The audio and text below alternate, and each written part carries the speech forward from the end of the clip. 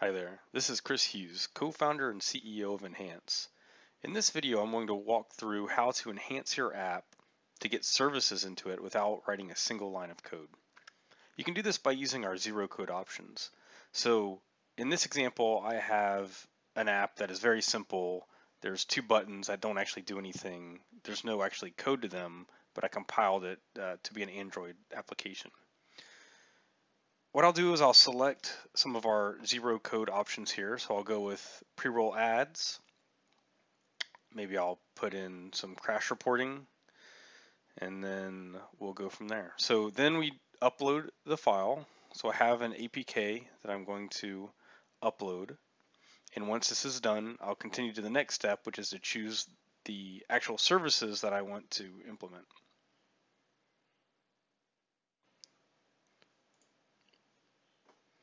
So here I can choose, since I chose an ad format, I can either use ad mediation or I can choose to set up my own.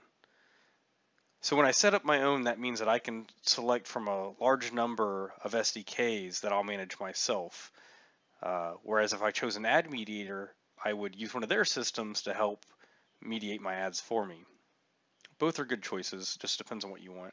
In this case, I'll just go with AdMob since I have an ad code ready. It's just a test ad code.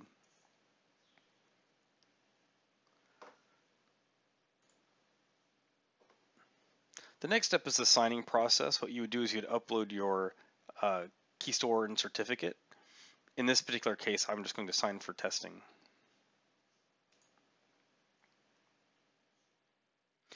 And now we're enhancing the app.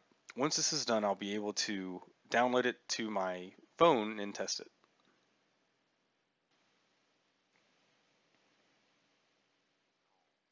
All right, so now my app is enhanced and it's ready to download. One thing that's great about Enhance is that you can go directly to your phone and download your app to test it. So what we'll do is we'll go to my phone where I'm logged into Enhance. So let me refresh. And we'll be able to see the enhancement that I just did.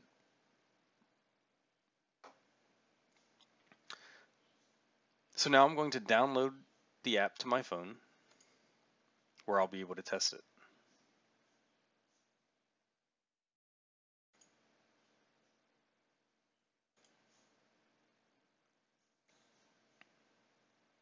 What we should see when I open the app is an ad on the pre-roll. So it should I should see an ad before anything else.